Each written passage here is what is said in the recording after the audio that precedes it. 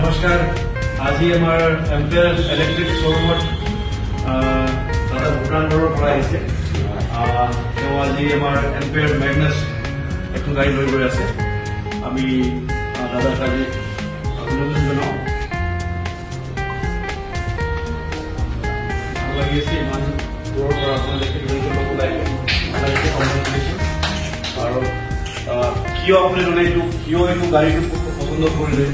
Electric গাড়ী কিয় আহিলে আহ, যদি দুখত ক'ব পাৰে তো बोल सकते हैं तो बोल अच्छा लगेगा नमस्कार মই বেরুল লামা দেওশ্রীর দেওশ্রীর বাসিন্দা মানে মই ইলেকট্রিক ভেহিকেল হৈ গৈ আছে আশা কৰোঁ আপোনাক চাই কিনি বহুত মানুহে প্ৰেৰিত হ'ব আৰু তেওঁও পেট্ৰল ভেহিকেলৰ পৰা এইটো আমাৰ ইলেক্ট্ৰিক ভেহিকেলত কনভাৰ্ট হ'ব হয়। আৰু আমাৰ আহ, আমি ৰাইজক জনাব খোজো যে আমাৰ অলৰেডি টেষ্ট ড্ৰাইভ চলি আছে আপোনালোকে আহক টেষ্ট ড্ৰাইভ।